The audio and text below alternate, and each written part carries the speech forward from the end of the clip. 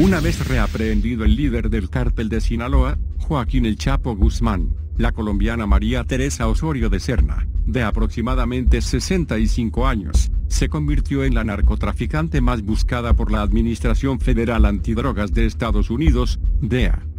De acuerdo con una nota difundida por la agencia Notimex, Osorio de Serna es un misterio para las autoridades colombianas por el bajo perfil que maneja en el mundo del crimen organizado.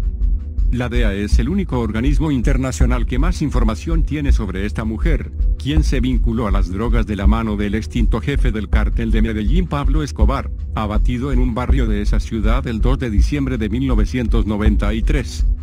En la ficha criminal la DEA muestra la única fotografía que se conoce de Osorio de la Serna, ojos y cabello oscuros, labios gruesos, pómulos salientes, cejas abundantes y bien arqueadas, frente amplia, mentón delgado y una mirada fija y fuerte.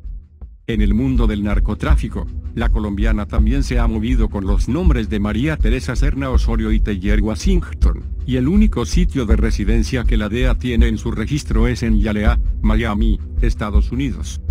Según la información proporcionada, Medellín podría ser uno de los lugares preferidos para la actividad clandestina de la mujer, con una nueva fisonomía e identidad, dado que los capos de la droga históricamente se sienten más seguros en los lugares donde nacieron, crecieron y se formaron en el mundo de la criminalidad.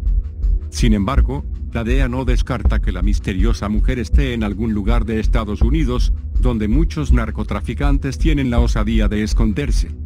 María Teresa Osorio de la Serna, llamada ya la narcofantasma, es la narcotraficante más buscada por la Administración Federal Antidrogas de Estados Unidos, pero no para las autoridades colombianas, cuya lista la encabeza Dairo Antonio Usuga David, Otoniel, jefe del clan denominado los Hermanos Usuga, una de las organizaciones criminales más tenebrosa de tráfico de drogas en el país sudamericano.